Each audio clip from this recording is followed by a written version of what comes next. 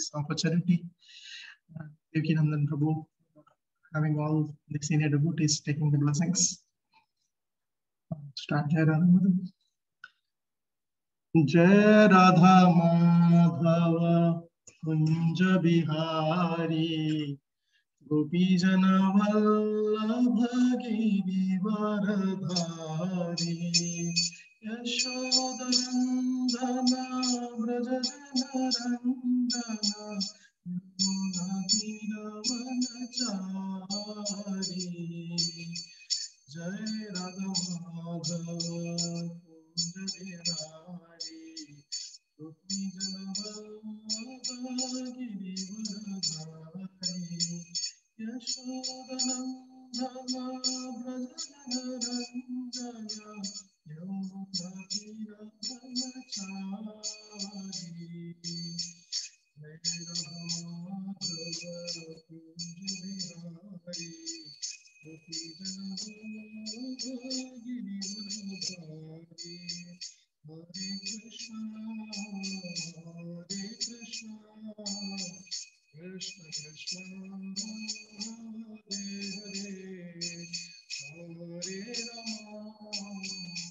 हरे राम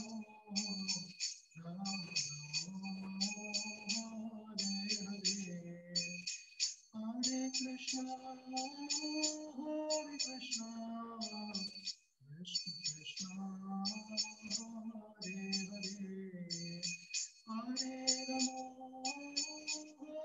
राम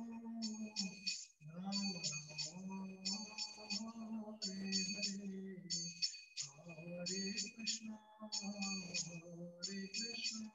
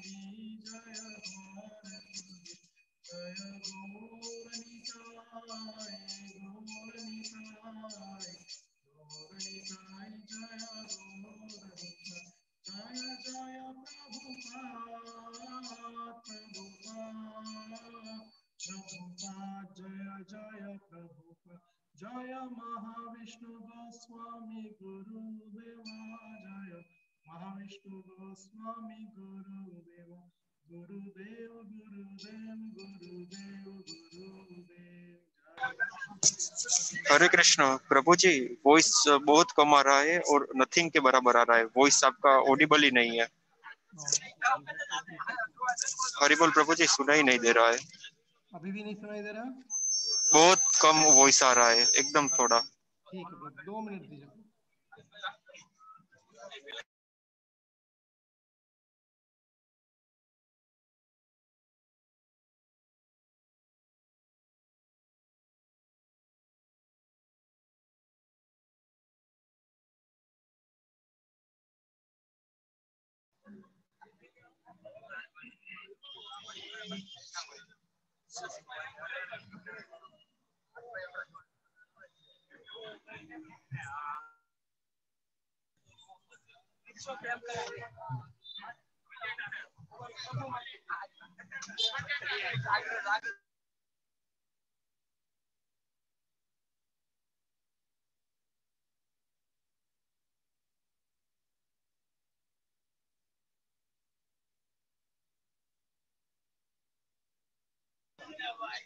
हरी बोल, प्रभु जी, आपका जो दूसरा फ़ोन से आप ज्वाइंट हुए, उससे आप बोलने का ट्राई कीजिए।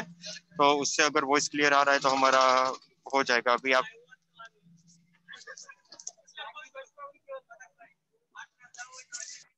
अब, अभी तो आपका कोई वॉइस आ ही नहीं रहा है।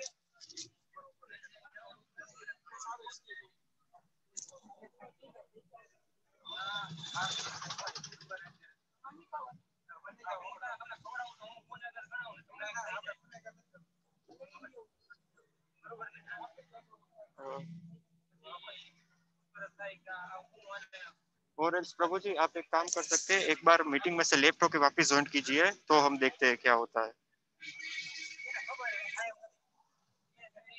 या फिर दूसरे फ़ोन से आपको बोलिए, दोनों से हो सकता है।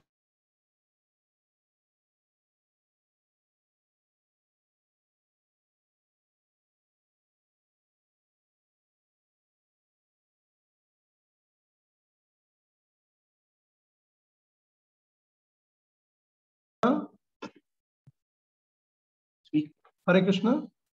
Uh, yes, Prabhuji, now voice is clear. We can Okay. hear you. Thank you Prabhu. Hare Sorry, I don't know. There is some problem. Uh, No problem, Prabhuji. Please continue the class. Sure.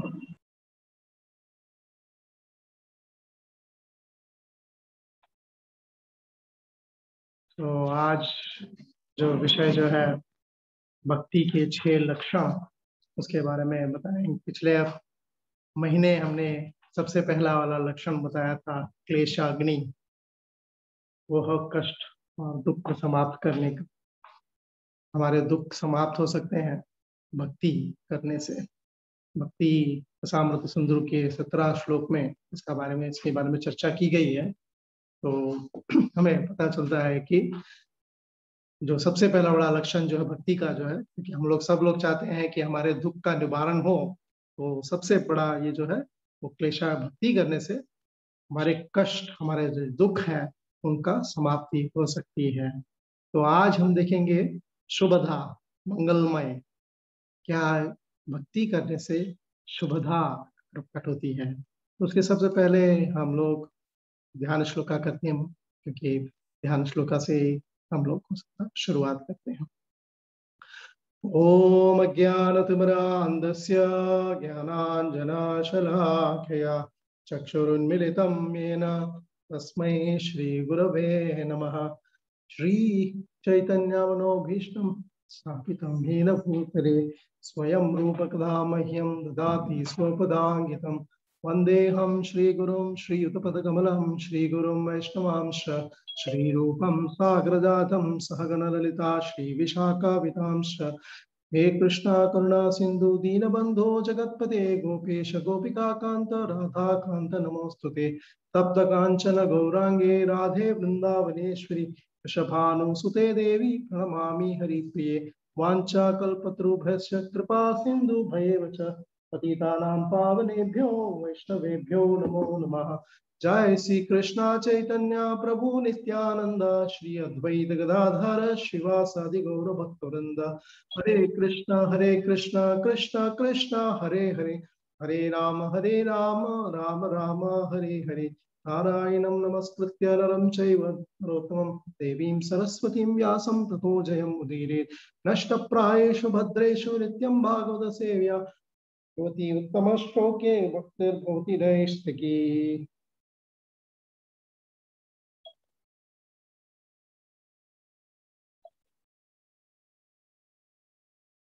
ॐ नमो भगवते वासुदेवाय। ॐ नमो भगवते वासुदेवाय। ॐ भगवते वासुदेवाय। आज एक श्रीमद् भागवतम से एक श्लोक लेते हैं। वो है 1.2.5 वो मुनेः साधु पृष्टोऽहं भवद्भिर्लोकमङ्गलम् यत्कृत कृष्णसम्प्रश्नो येनात्मा सुप्रसीदति। मुनया साधु पृष्टोऽहं भवद्भिर्लोकमङ्गलम्। यत्कृतः कृष्णसम्प्रश्नो येनात्मा सुप्रसीदति। मुने ये मुनियो, साधु यह प्रासंगिक है, पृष्ठ पूछा गया है अहम मैं, भवद्भी आप लोगों के द्वारा लोक, संसार, मंगल मंगल कल्याण, यत, क्योंकि कृत बना, बनाया था, बनाया गया कृष्ण भगवान। संप्रश्न, संगत प्रश्न ये न, जिससे आत्मा सु, स्व स्व सुप्रसिद्धति पूर्ण रूप से प्रसन्न होता है। हे मुनियों आपने मुझसे ठीक प्रश्न किया है। आपके प्रश्न शालकनीय है क्योंकि उनका संबंध भगवान कृष्ण से है। इस प्रकार के विश्व कल्याण के लिए ऐसे प्रश्नों से ही पूर्ण आत्मतुष्टि हो सकती है। सो so, ये श्रीमद भागवतम के फ़र्स्ट कैंटो दूसरे अध्याय का दूसरे चैप्टर का पांचवा श्लोक है। तात्पर्य शिल प्रभुपा जी बहुत अच्छा लिखे हैं।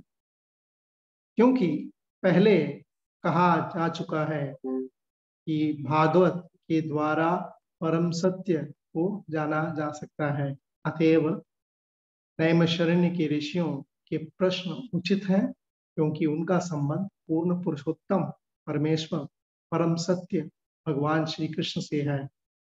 भगवत गीता के पंद्रह अध्याय के पंद्रह श्लोक में भगवान कहते हैं सारे वेदों में भगवान कृष्ण की खोज की उत्कंठा के अतिरिक्त और कुछ नहीं है और कुछ भी नहीं है। इस तरह कृष्ण सारा संसार कृष्णों तथा उत्तरियों, उत्तरों से पूर्ण परिपूर्ण है। सारे पक्षी, पशु तथा मनुष्य शाश्वत प्रश्नों एवं उत्तरों में व्यस्त है। भोर भा, भोर होते ही सारे पक्षी अपने नीड़ों में प्रश्नों तथा उत्तरों में लगे जाते हैं और शाम होते ही वही पक्षी वापस आकर पुनः प्रश्नोत्तर में व्यस्त हो जाते हैं। मनुष्य भी जब तक प्रगाढ़ निद्रा में सो नहीं जाता, प्रश्नोत्तर में व्यस्त रहता है। व्यापारी बाजारों में प्रश्नोत्तर में लगे रहते हैं और इसी प्रकार न्यायालय में वकील तथा विद्यालयों में एवं महाविद्यालयों में विद्यार्थी भी व्यस्त रहते हैं। सांसद भी संसद में प्रश्नोत्तर में ही लगे होते हैं और राजनीतिक तथा प्रेस प्रतिनिधि भी प्रश्नोत्तर में से में मशगूल दिखते हैं। यद्यपि ये लोग जीवन भर ऐसे प्रश्न तथा उत्तर करते रहते हैं, किंतु रंच मात्र तुष्ट नहीं हो पाते। आत्मा की तुष्टि तो केवल कृष्ण प्रश्नों, प्रश्न उत्तरों से ही हो सकती है। कृष्ण हमारे अंतरंग स्वामी, मित्र, पिता या पुत्र तथा माधुर्य प्रेम के लक्ष्य प्रियतम है। कृष्ण को भूलकर हम, हमने प्रश्नों तथा उत्तरों के अनेक विषय बना लिया बना लिया है। किंतु इनमें किसी भी हमें पूर्ण तुष्टि नहीं हो पाती। कृष्ण के अतिरिक्त सारे वस्तुएँ क्षणिक तुष्ट प्रदान करने वाली है।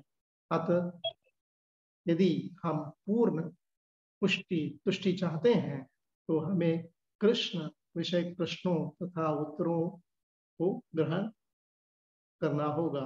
बिना प्रश्न किए या उत्तर दिए हम क्षण भर भी जीवित नहीं रह सकते। क्योंकि श्रीमद् भागवत कृष्ण विषय प्रश्नों तथा उत्तरों को बताने वाला ग्रंथ है, अतएव हम इस दिव्य साहित्य के पठन तथा श्रवण मात्र से परम तुष्टि प्राप्त कर सकते हैं।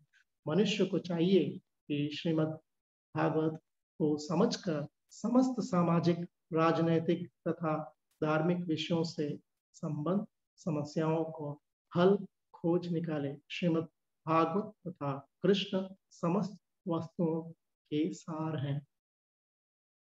जय श्री प्रभुपाद, तात्पर्य की जय। जैसे हमने बताया था कि भक्ति सामृत सिंधु में इस श्लोक दसरा श्लोक नंबर सत्रह में बताया गया है, भक्ति के जो छह लक्षण है, सबसे पहला वाला लक्षण जिसकी चर्चा हमने पिछले महीने किया था, वो था क्लेशाग्नि। से दुख हमारे समाप्त हो सकते हैं। आज जो हम देखेंगे शुभधा मंगलमय तीसरे हमें शुभता प्रदान प्रदान करती है। तीसरा जो लक्षण है, मोक्ष लघुताकृत मुक्ति जो बन, मुक्ति जो होते हैं, भक्ति के सामने एकदम छोटा दिखता है, लघु, लघुकृत बहुत छोटा दिखता है। तो इसी कारण मुक्ति भी भक्ति के सामने कुछ नहीं है। और चौथा जो है, सुदुर्लभ। भक्ति प्राप्त करना बहुत सुदुर्लभ है। जिसको प्राप्त हुई है, वही लोग, हम लोग इस प्रकार भक्ति में जुड़ पा रहे हैं। बहुत ही मनुष्य योनि में ही प्राप्त होती है और मनुष्य योनि हमें चौरासी लाख योनियों के बाद प्राप्त होती है। इसीलिए बहुत दुर्लभ है। तो इसे अच्छी तरह पांचवा जो चीज़ बताया गया है उसमें सांद्रानंद विशेष आत्मा। आत्मा को भक्ति से परम से दिव्य आनंद प्राप्त करती है। और छठा जो चीज़ है, श्री कृष्ण आकर्षण, आकर्षणी इच्छा तो कृष्ण को हम किसी भी धम संपत्ति से आकर्षित नहीं कर सकते सिर्फ़ भक्ति से ही आकर्षित कर सकते हैं। तो ये छह चीज़ें हैं, बताई गई है भक्ति रसामृत सिंधु में। तो क्लेशाग्नि के बारे में हमने चर्चा किया था पिछले महीने, जहाँ पे बताया गया था कि हम दुख क्यों भोग रहे हैं, क्यों दुख भोग रहे हैं। क्योंकि हम हमार हम पाप करते हैं। पापम के कारण जो है, हम दुख भोग रहे हैं। पाप क्यों कर रहे हैं? क्योंकि पाप करने की इच्छा, पाप करने की प्रवृत्ति ये सब हमारे में है। और ये पाप करने की भी, जो पाप करने की प्रवृत्ति है, जो हमारी इच्छा जो है, वो सब कहा जाता है, बीजम कहा गया है। और ये बीज हमारे अंदर भोज है, इसीलिए हम पाप कर रहे हैं। और फिर क्योंकि पाप करने की प्रवृत्ति भी है हमारे अंदर क्योंकि पिछले जन्मों से हमारे जो प्रवृत्ति है उसी का पाप करने की प्रवृत्ति भी है। और इन सब का मूल जो कारण जो है अविद्या है अज्ञान बेसिकली अज्ञान। क्यों अज्ञान क्या है? वो हम ये शरीर हम अपने शरीर को बहुत मानते हैं।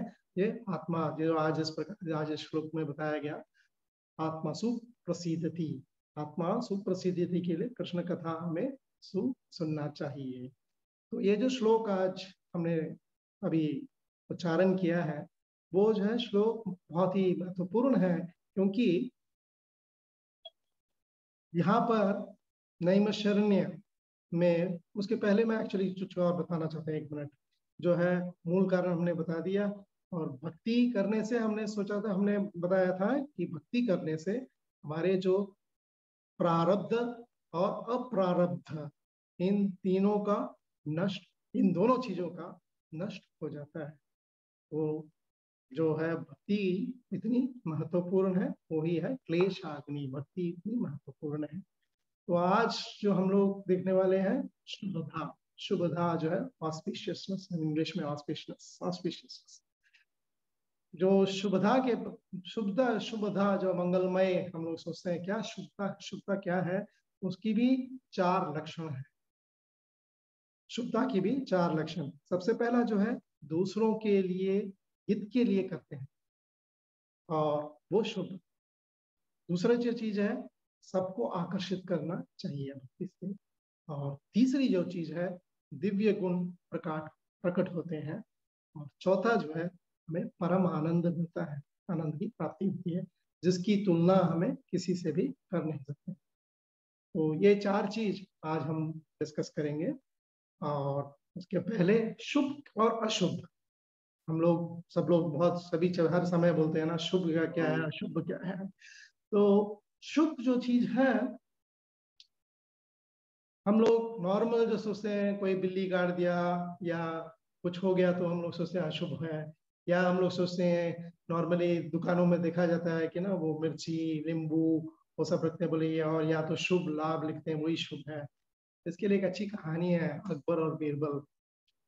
आप लोग को मालूम भी होगा, बट अकबर, बीरबल की कहानी हर वक्त तो आप लोगों को सुना होगा, बट अकबर एक बार सवेरे उठते ही अपने, वो क्या बोलते हैं, बालकनी में जाकर ऐसे हवा लेने के लिए गए थे और हवा लेते हुए समय पर उन्होंने एक धोबी जो उनके, जो वहाँ पे राजा, राजमहल में आता था, रोज आता था, वो वहाँ से गुजर रहा था और उसने भी देखा कि राजा राजा खड़े हैं इसमें बालकनी में।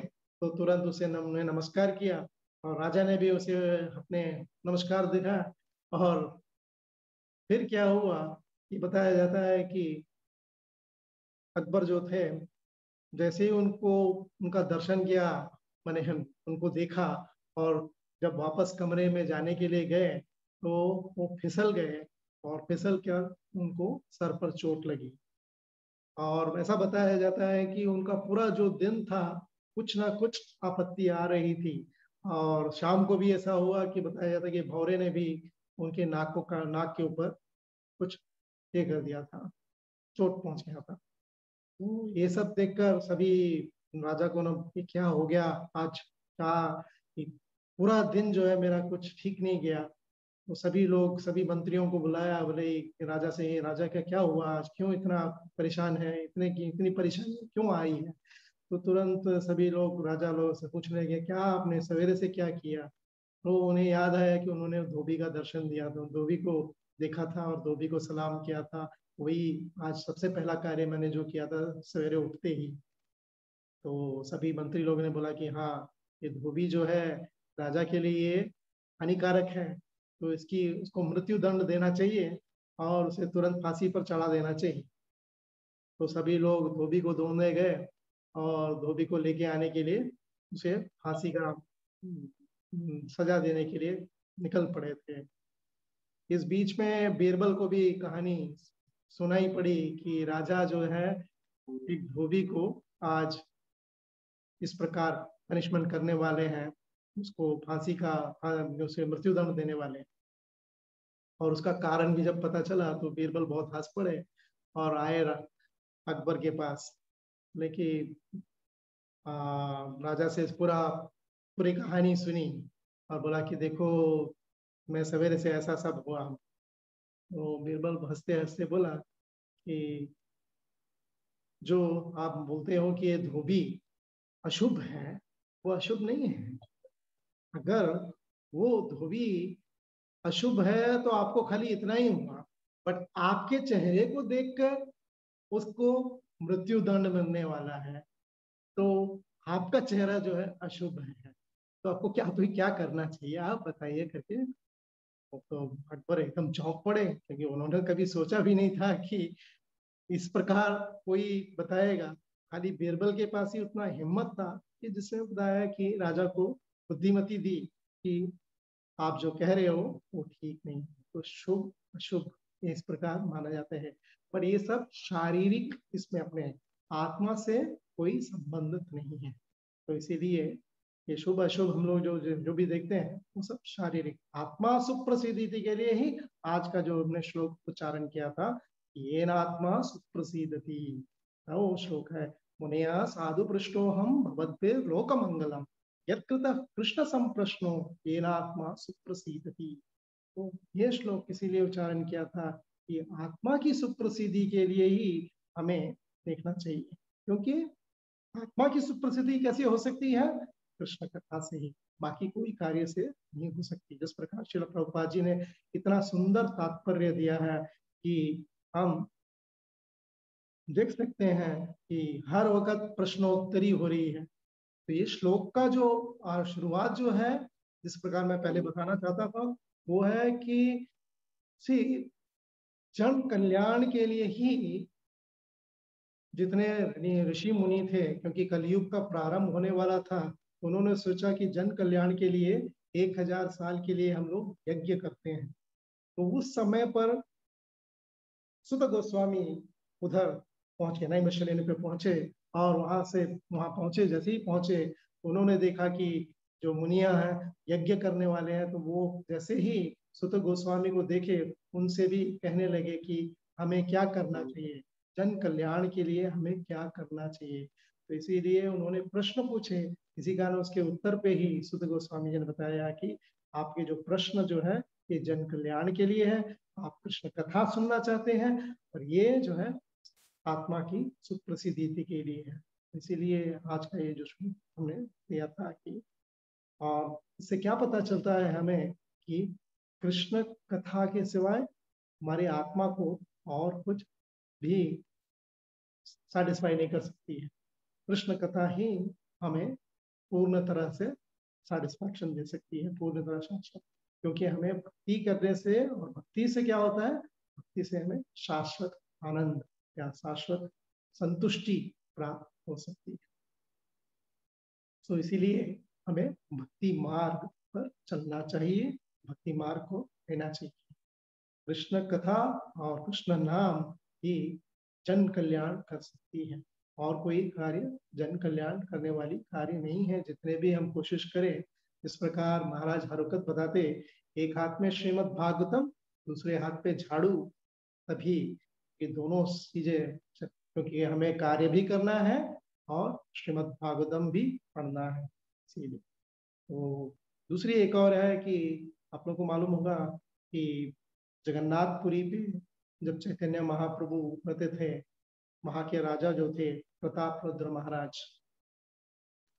प्रताप रुद्र महाराज जो थे, सर्वभौम भट्टाचार्य के शिष्य थे, सर्वभौम उनके गुरु थे। सर्वभौम भट्टाचार्य, वो चैतन्य महाप्रभु के बारे में हर समय बताते थे प्रताप रुद्र महाराज को। और प्रताप पुत्र महाराज इतने आकर्षित हो गए थे कि उन्होंने सर्वभौम भट्टाचार्य से निवेदन किया कि मुझे आप चैतन्य महाप्रभु से मिलवाइए। चैतन्य महाप्रभु तो कभी किसी विषयी व्यक्ति या स्त्री से मुलाकात नहीं करते थे। तो जब सर्वभौम भट्टाचार्य ने उनका ये जो निवेदन प्रस्तुत किया तो चैतन्य महाप्रभु ने नकार दिया बोला कि मैं उनको दर्शन नहीं दे सकता हूँ क्योंकि वो एक राजा है वो विषयी व्यक्ति है और विषयी व्यक्ति के साथ मैं नहीं मैं मैं उनको दर्शन नहीं दूँगा। तो बहुत सारे चीज़ें हुई बहुत लंबी चीज़ है। उन्होंने अपने बेटे के वो बेटे को भेजा चैतन्य महाप्रभु ने ठीक है उनका बेटे को भेजो करके बे, बेटे को भेजा बेटे को आशीर्वाद दिया। तो तब भी प्रताप रुद्र महाराज संतुष्ट नहीं थे, क्योंकि बोले कि मुझे उनसे मिलना है, मुझसे उनको चैतन्य महाप्रभु को मिलना है, मुझे किसी न किसी, ये न कि न प्रकार ने मुझे मिलना है। अगर मैं नहीं मिल पाऊँगा तो मैं ये राजपाट सब छोड़कर मैं वन में चले जाऊँगा, क्योंकि मेरा जो जीवन जो है सार्थक नहीं है। अगर चैतन्य महाप्रभु जगन्नाथपुरी में रहते हुए भी मैं उनका दर्शन नहीं कर पाऊँ, मैं उनको देख नहीं सकता हूँ तो मेरे को क्या मेरी ज़िंदगी जो है व्यर्थ है तो मैं जाके जंगलों में चला जाऊँगा। इस प्रकार उन्होंने बता दिया। तो जिस जो बाकी भक्त लोग जो थे, जो राजा के थे, वो लोग ने एक आयोजन किया कि किस प्रकार बोले कि उन्हें उन्हें आश्वासन दिया कि ठीक है, तुम मुलाकात कर सकते हो बट जब रथ यात्रा होती है जगह, जगन्नाथपुरी में, वो बताया जाता है कि जगन्नाथपुरी मंदिर से गुंडीचा मंदिर खाली दो किलोमीटर का ही डिस्टेंस रहता है। बट जगन्नाथ जी जो है, उतने जल्दी नहीं पहुँचते। जगन्नाथ जी सब लोगों को अपना दृश्य दिखाना चाहते हैं और कभी कभी दो हफ़्ते या एक हफ़्ते के बाद ही वहाँ पर गुंडीचा मंदिर पहुँचती है। तो उस बीच में जो होता है, बहुत सारे कीर्तन, नाच होती है। और चैतन्य महाप्रभु, जिस प्रकार आपको मालूम है, बहुत ही अच्छे तरह नृत्य और गान करते थे। तो इसीलिए रास्ते में बोले थे कि चैतन्य महाप्रभु इतना नाच गान करते हैं कि उन्हें थकान हो जाती है। जब थकान हो जाती है, वो उसकी बगीचे, वहाँ पर आसपास का बहुत सारे बगीचे हैं, वो किसी बगीचे में जाके थोड़ा विश्राम भी करते हैं। तो उस समय पर तुम जाकर चैतन्य महाप्रभु के पैरों को दबाओ और उन्हें अपनी भक्ति प्रदर्शन करो। तो तब हो सकता है चैतन्य महाप्रभु का तुम्हें दर्शन भी हो सकता है और चैतन्य महाप्रभु की कृपा भी प्राप्त हो सकती है। तो इस प्रकार कहकर उन्होंने, इन लोगों ने आयोजन बनाया और जिस प्रकार आयोजन बनाया उसी प्रकार चैतन्य महाप्रभु बहुत नाचे और थके और वहाँ पर पहुँचे और इधर बताया जाता है कि प्रतापुत्र महाराज जो थे अपने वैष्णव ड्रेस पहन कर गए। राजा के रूप में गए तो, तो आलिंग पहुँच नहीं सकते थे ना तो इसी के लिए पहचान जाएँगे। इसीलिए उन्होंने साधारण व्यक्ति की तरह गए और उनके सभी भक्तों से उन्होंने आशीर्वाद लिया। फिर उसके बाद वहाँ पर गए और उनके पैर दबाए। पैर दबाने के बाद पैर दबाते वक्त उन्होंने गोपी गीत गाए, गोपी गीत। और इस गोपी गीत के दसवें स्कंद के एक थर्टी वन श्लोक थर्टी वन का नौवा श्लोक जो है, वो हमारे महाराज को बहुत पसंद है। वक्तामृतम, तप्त जीवनम, कविभिरीडितम, कल्मषापहम, श्रवणमङ्गलम्, श्रीमदात्मनम् भुवि गृणन्ति ये भूरिदा जना तो ये श्लोक जैसे ही चैतन्य महाप्रभु सुने, बताया जाता है कि चैतन्य चरितमृत में उन्हें आलिंगन करने लगे। उन्होंने और कहते रहे, और बोलते जाओ, और बोलते जाओ, और बोलते जाओ। उसका शब्दार्थ सुन लीजिए। तब तुम्हारे कथामृत, शब्दों का अमृत तप्त जीवनम, भौतिक जगत में दुखाओं का जीवन कभी भी बड़े बड़े चिंतकों द्वारा पीड़ितम, वर्णित कलमश हम पापों को भगाने वाला श्रवण मंगलम, सुनने पर आध्यात्मिक लाभ देने वाला श्रीमद आध्यात्मिक शक्ति से पूर्ण आतरम आततम संसार भर में विस्तरीन भूवि भौतिक जगत, प्रणंती, कीर्तन तथा प्रसार करते जो लोग भूरीदा ये जो वर्ष है भूरीदा इस पर ही बहुत आकर्षित हुए थे चैतन्य प्रभु। अत्यंत उपकारी जना व्यक्ति अत्यंत उपकारी भूरीदा भूरिदा चैतन्य चरतामृत में एक श्लोक भी है, जिसमें बताया गया है कि भूरिदा भूरिदा भली करे आलिंगनो, इन्हों ना ही जाने, इन्हों है कौन जाना।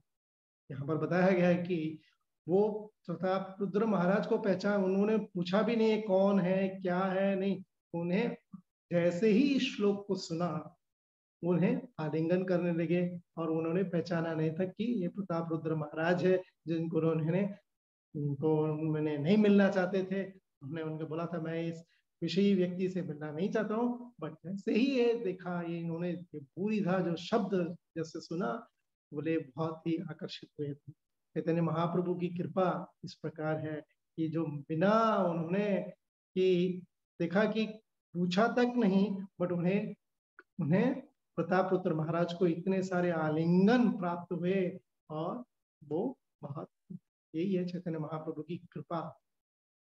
थोड़ी सी भी जिस प्रकार श्रीमद भगवत गीता में आते हैं स्वल्पम से धर्म से त्राय तो महतो भया तो थोड़ा सा भी भक्ति करेंगे हम लोग तो चैतन्य महाप्रभु की असीम कृपा इस कलयुग में हमें प्राप्त हो सकती है।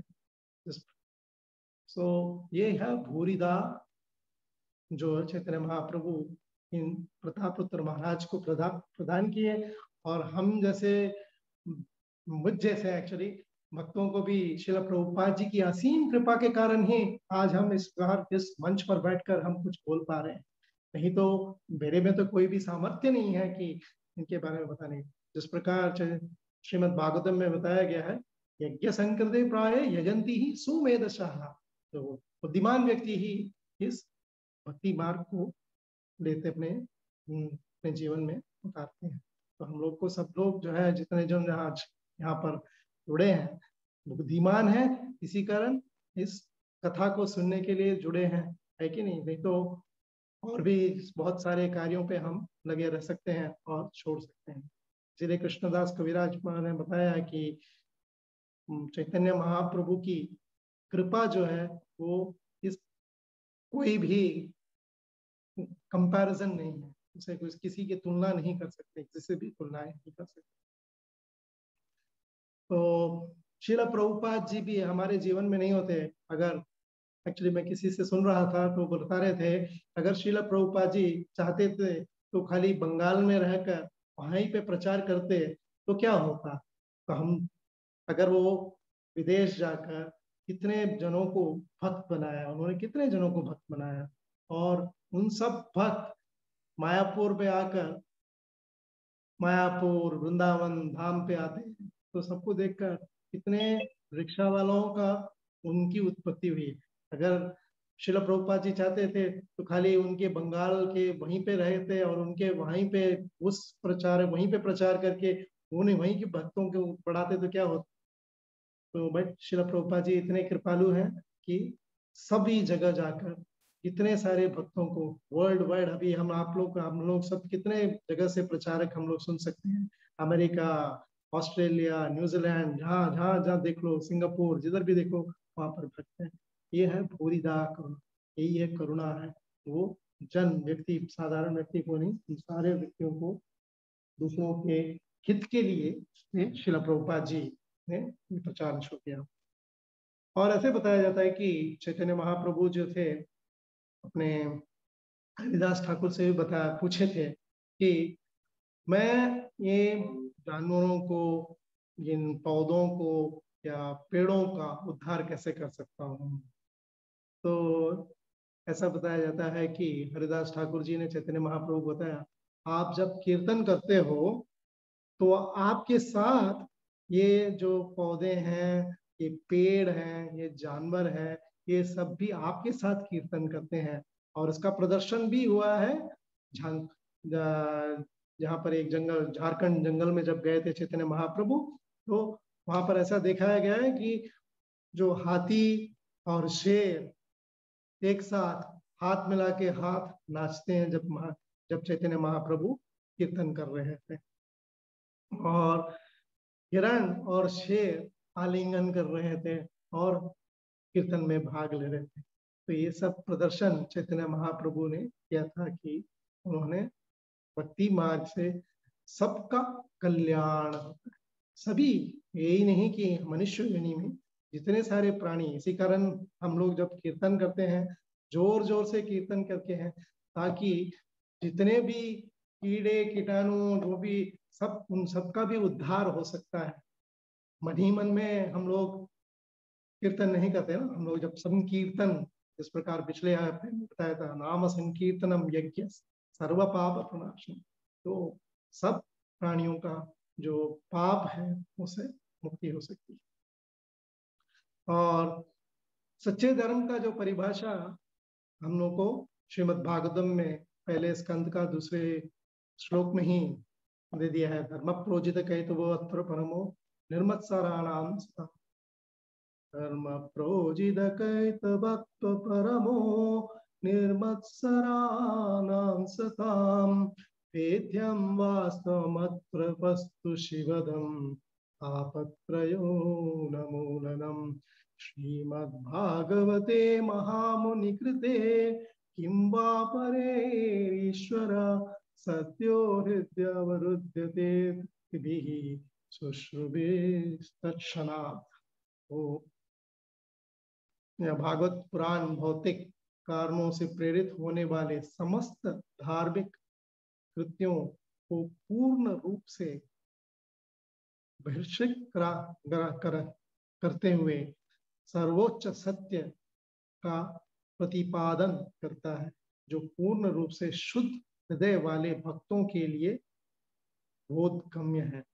यह सर्वोच्च सत्य वास्तविकता है जो माया से पृथक होते हुए सबको, सबों के कल्याण के लिए, सबों के कल्याण की ऐसा सत्य तीनों प्रकार की तापों, संतापों को समूल नष्ट करने वाला है। महामुनि व्यासदेव द्वारा अपनी परिपक्वता में संकलित यह सौंदर्यपूर्ण भागवत ईश्वर साक्षात्कार के लिए अपने आप से पर्याप्त है। हमें और कोई जगह जाने की ज़रूरत नहीं है, श्रीमद भागवतम में। जिस प्रकार महाराज भी बताते थे, श्रीमद भागवत और भगवत गीता पढ़िए, और कहीं जाने की, कहीं और किसी ग्रंथ को पढ़ने की कोई ज़रूरत नहीं है। तो फिर अन्य किसी शास्त्र की की क्या आवश्यकता है? जैसे जैसे कोई ध्यान पूर्वक तथा विनीत भाव से भागवत के संदेश को सुनाता है, सुनता है, वैसे वैसे ज्ञान के इस संस्कार अनुशीलन से उसके हृदय में परमेश्वर स्थापित हो जाते हैं। ये है शिल प्रभुपाद जी बताते हैं।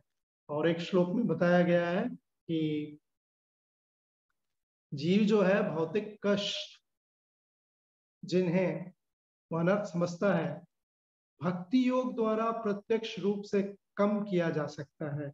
किंतु अधिकांश जन ये नहीं जानते। इसीलिए विद्वान व्यासदेव ने इस वैदिक साहित्य का संकलन किया है, जिसका संबंध परम सत्य से है।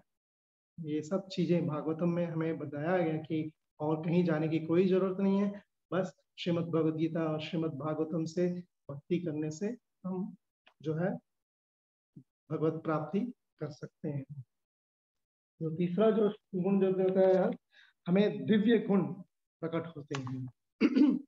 दिव्य गुण प्रकट होते हैं। इसके लिए श्रीमद भागवतम में एक बहुत अच्छा श्लोक है। यस्यास्ति भक्तिर भगवती अकिंचना सर्वैर गुण सत्र समस्त सुरा। हरो भक्त से कुटो महत गुणा। मनोरातेने धावतो वही से बताया जो व्यक्ति पूर्ण पुरुषोत्तम भगवान वासुदेव के प्रति शुद्ध भक्ति उत्पन्न कर, कर लेता है उसके शरीर से सभी देवता तथा अनेक महान गुण यथा धर्म ज्ञान तथा त्याग प्रकट होते हैं। इसके विपरीत जो व्यक्ति भक्ति से रहित है और भौतिक कर्मों में व्यस्त रहता है, उसमें कोई सदगुण नहीं आते। भले ही कोई व्यक्ति योगाभ्यास में दक्ष क्यों ना हो और अपने परिवार और संबंधियों की भली भांति भरण पोषण करता हो वह अपनी मनोकल्पना द्वारा भगवान की बहिरंगा शक्ति की सेवा में तत्पर होता है। भला ऐसे पुरुष में सदगुण कैसे आ सकते हैं? तो इसमें बताया, भक्ति से जो है हमें सुर और असुर, अगर भक्ति करेंगे तो सुर जो देवताओं के जो गुण जो है, अच्छे गुण जो है, हमें प्राप्त हो सकते हैं। और अगर हम भक्ति नहीं करेंगे तो जो है अवगुण जो है सदगुण हमारे तो प्राप्त हो ही नहीं सकते तो इसीलिए हमें भक्ति करना चाहिए। तो भक्ति से जो है, हमारे सारे जो दुर् दुर्गुण जो हमारे अंदर है, वो सब दूर हो सकती है। इसके लिए शीला प्रभुपाद जी की कृपा देखिए। आप लोगों ने सुना होगा, एक क्रेजी पीटर करके क्रेजी पीटर वो बॉस्टन मंदिर में थे और बताया जाता है कि वो हर समय इतने, क्या बोलते हैं वो ड्रग्स एडिक्ट था और बताया जाता है कि तब भी हर समय मंदिर में ऐसे ही पड़े रहता था, बीच में पैर फैला हुए ऐसे सब रहता था।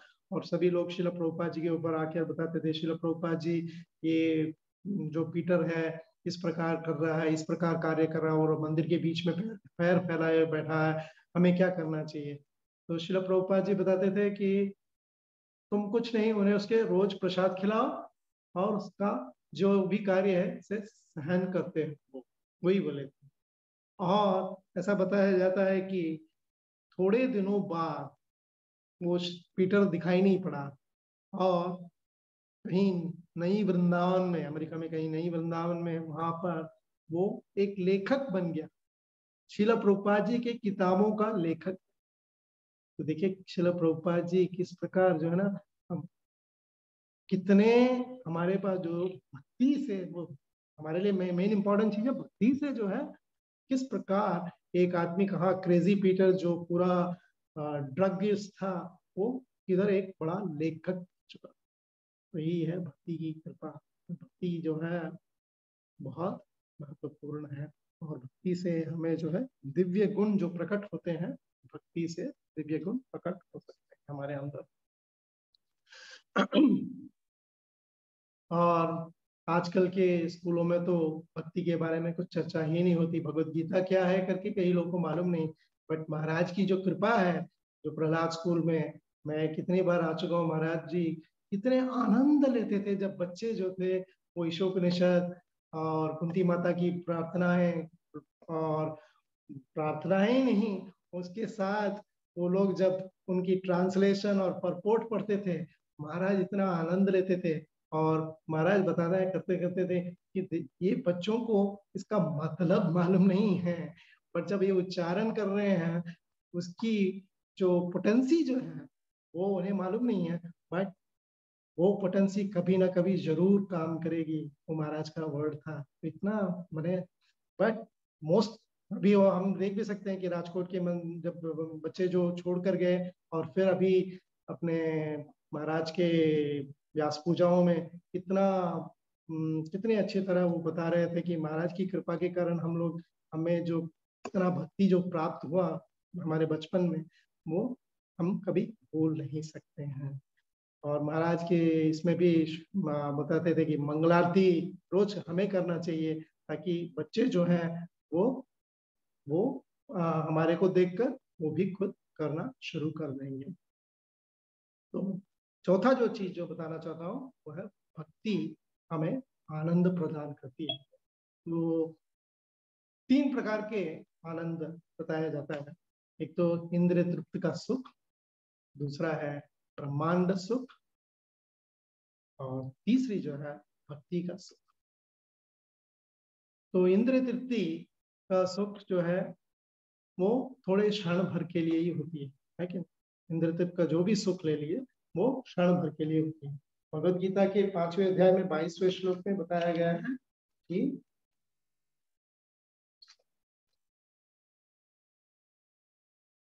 यह संस्पर्शजा भोगा दुख योन्य एवते अत्यंत कौंतेय न रमते बुध। बुद्धिमान मनुष्य दुख के कारणों में भाग नहीं लेता, जो कि भौतिक इंद्रियों के संस्पर्क से उत्पन्न होते हैं। कुंती पुत्र ऐसे भोगों की आदि तथा अंत होता है, अतः चतुर व्यक्ति उनमें आनंद नहीं लेता।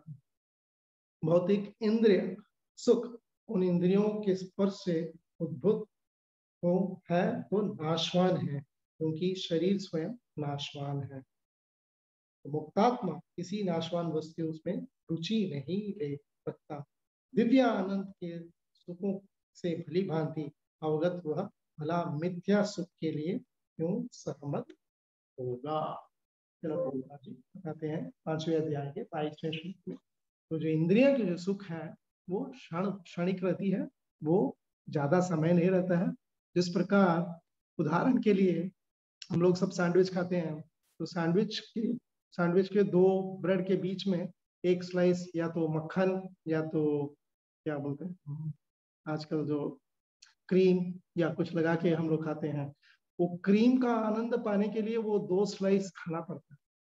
तो वो जो छोटा सा स्लाइस के लिए दो बड़े पीस के ब्रेड हमें खाना पड़ रहे हैं, वही हमारे जो है दुख और सुख और छोटा सा जो है आनंद प्राप्त करने के लिए इससे अच्छा और और एक उदाहरण है पुराने जमानों में राजा लोग क्या करते थे?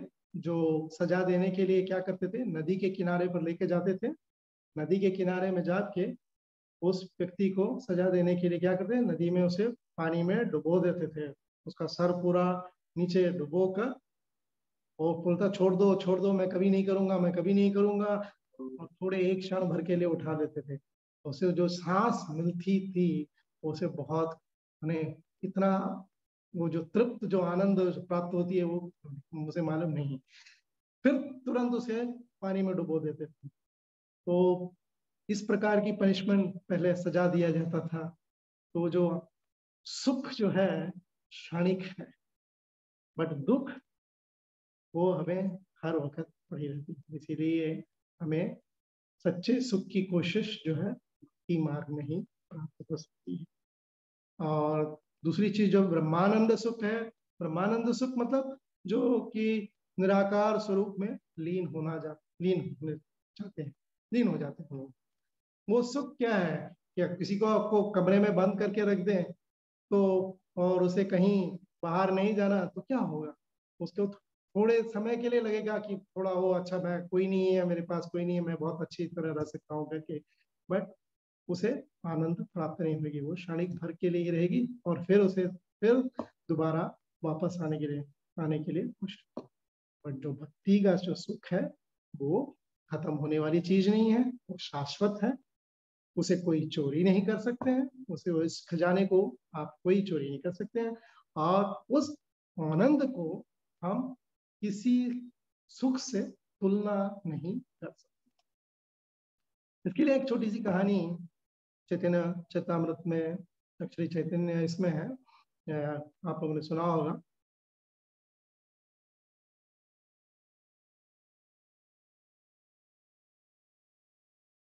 कोलाबर श्रीधर।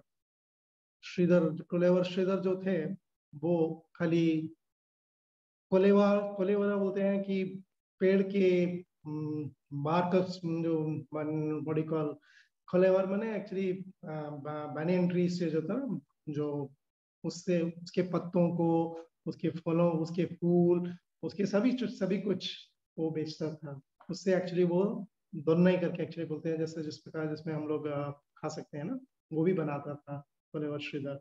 और ऐसे बताया जाता है कि चैतन्य महाप्रभु जो थे, जब बिफोर संन्यास लेने के पहले वो वो जाकर इस व्यापारी से रोज रोज जाते थे। रोज जाकर उसे परेशान कर देते थे। क्योंकि कोलेवर श्रीधर तो बहुत साधारण बहुत ही साधारण और उसके पास ज़्यादा कुछ धनी व्यक्ति नहीं था, एकदम बहुत गरीब भी था।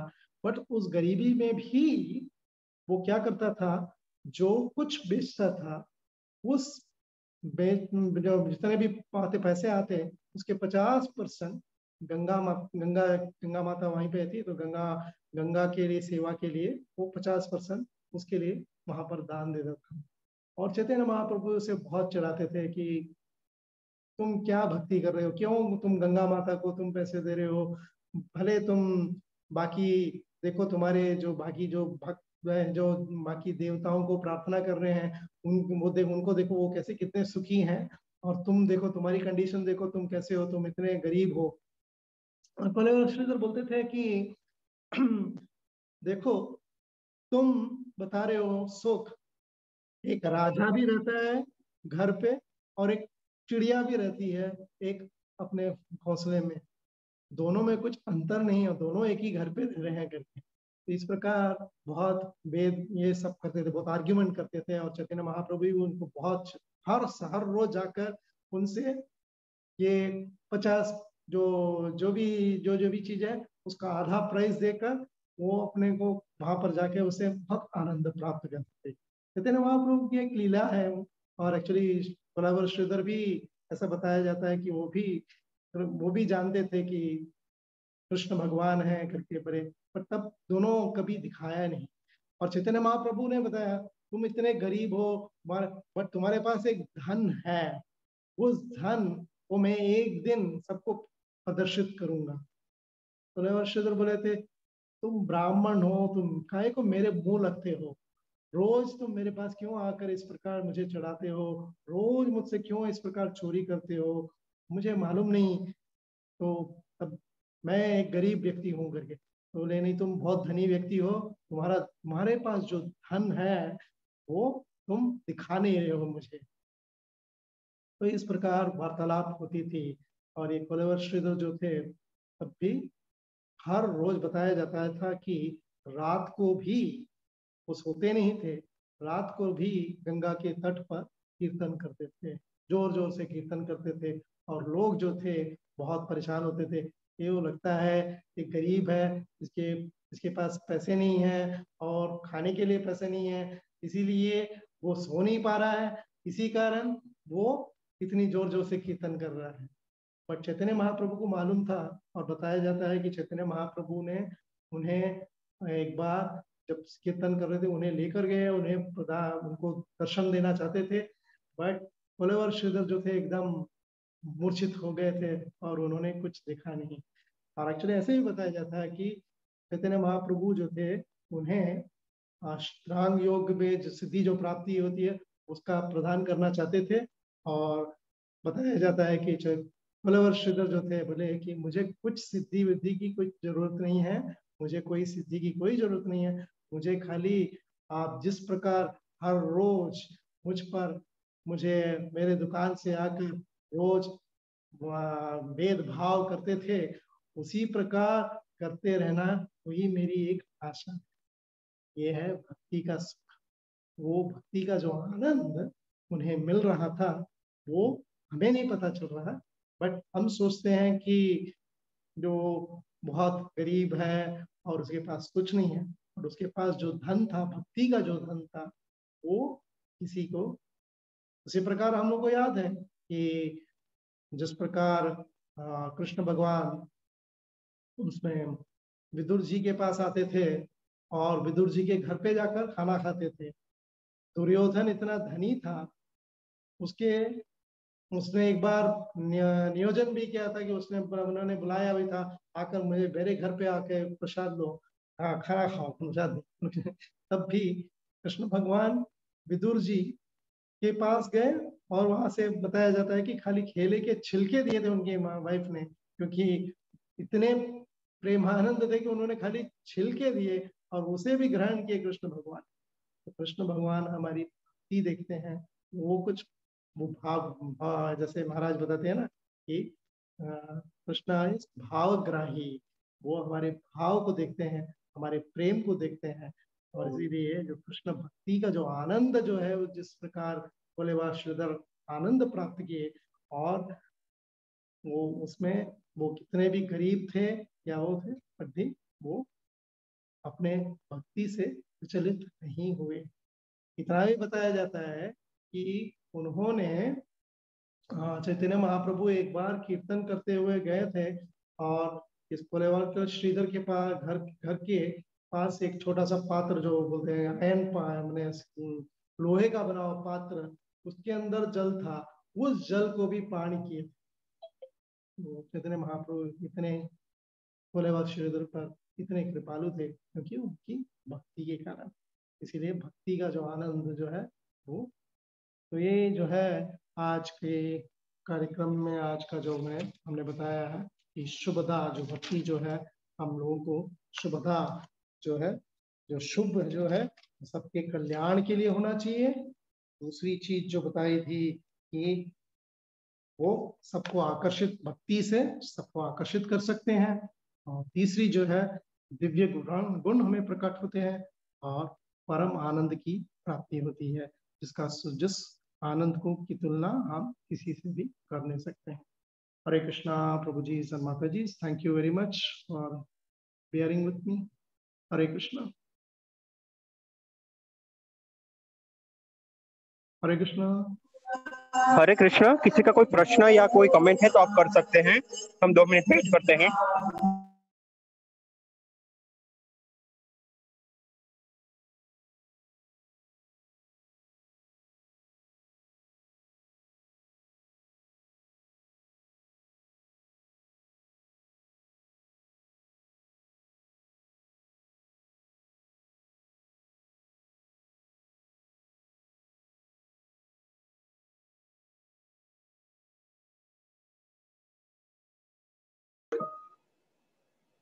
हरे कृष्ण प्रभु जी धन्यवाद ऑल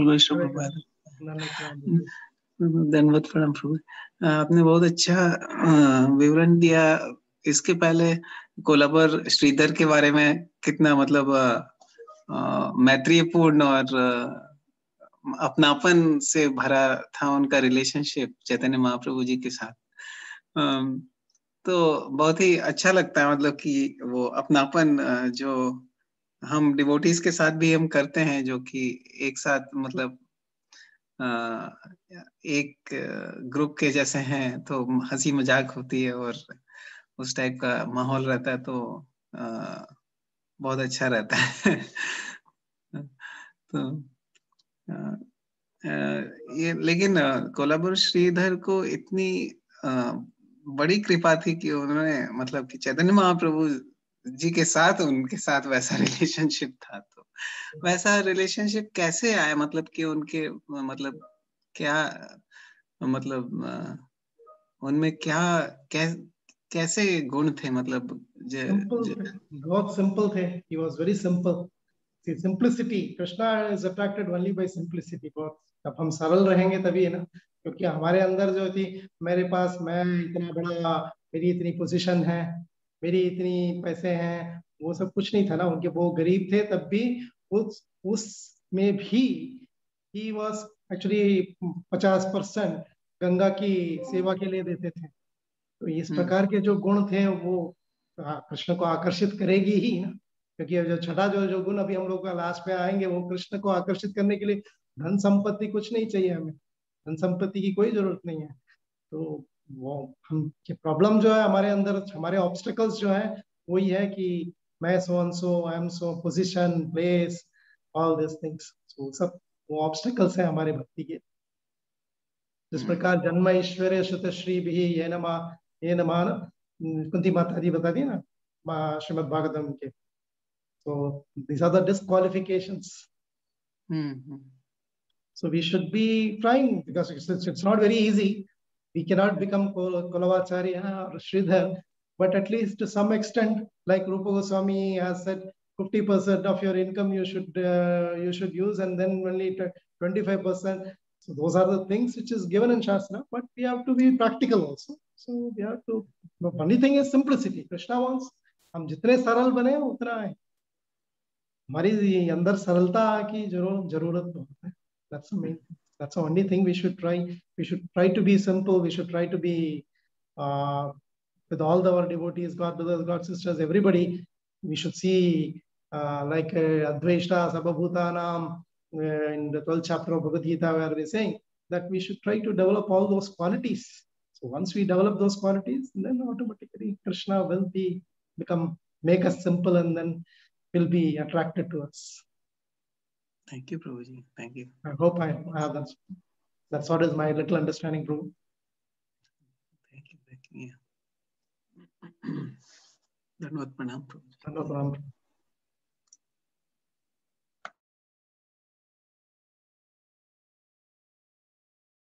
हरे कृष्ण हरे कृष्णा किसी और का कोई प्रश्न या कमेंट है